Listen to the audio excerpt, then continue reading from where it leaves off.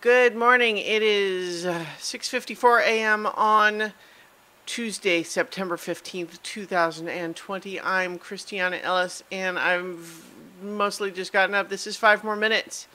I'm already running behind schedule because today is the release day of a new Dungeons and Dragons adventure and my brain just wants to think about that. And so I was reading the introduction of it until I realized, "Oh shoot, I have to like get ready for work and stuff. Um, so yesterday, uh, like like I've uh, mentioned, this week is a pretty busy week generally for for work. Um, so far, so good. The first day was slower than the rest of the week will be, but uh, it went well at least. So you know, fingers crossed that things continue to go smoothly. We will see.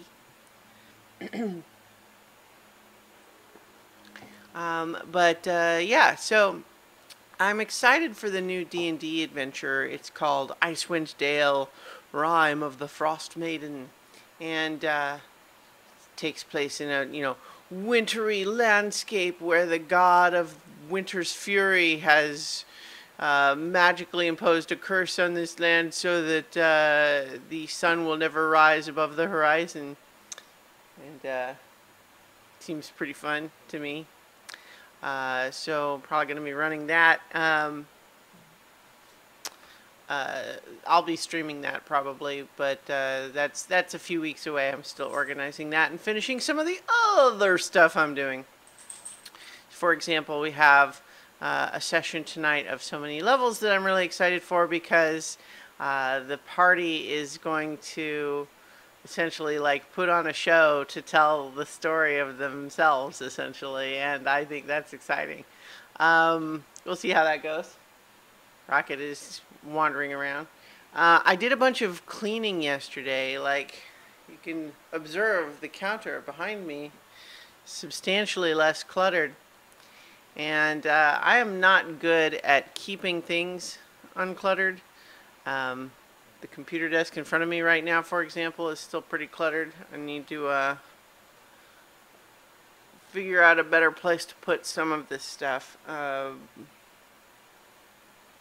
but yeah, it's I I always feel a lot better when I've done the cleaning, but it's you know I'm sure many people can relate to this. Like there's this tendency to be sort of lazy about the maintenance cleaning so things gradually accumulate and accumulate, and then that becomes stressful in its own right until all of a sudden you clean everything and then it just feels so much better. And you say, like, well, why couldn't I have just kept it like this and not have this stress in the meantime? And the answer is, ooh.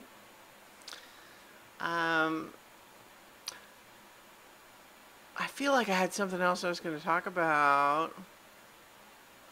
Oh, it was OK K.O. Let's Be Heroes, which is a cartoon that had like uh, 120 some uh, 12 minute episodes uh, on Cartoon Network, and it's it's done now already. It had like three big seasons.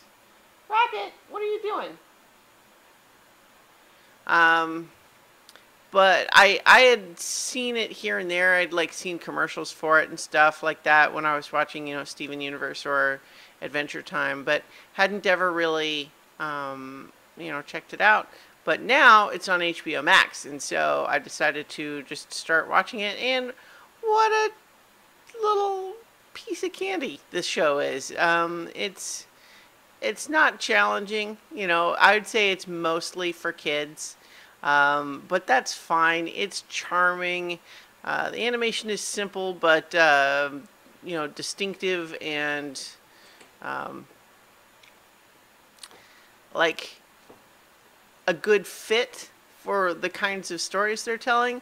Where, which just is all about this uh, little sort of strip mall plaza called Lakewood Plaza Turbo, where it's in a world where there's like everybody everybody around pretty much is trying to be some kind of a hero or a villain and it's but it's all just kind of very silly and it focuses on this little kid named K.O. who uh, uh, you know starts working at a at a little uh, like convenience store for superheroes and you know it's about him and his friends, and it's just very sweet and silly and charming. I mean, it's not like complicated in a way. It's not like deep and meaningful, but it's very just silly and charming and sweet, and it's good sort of comfort food cartoon viewing.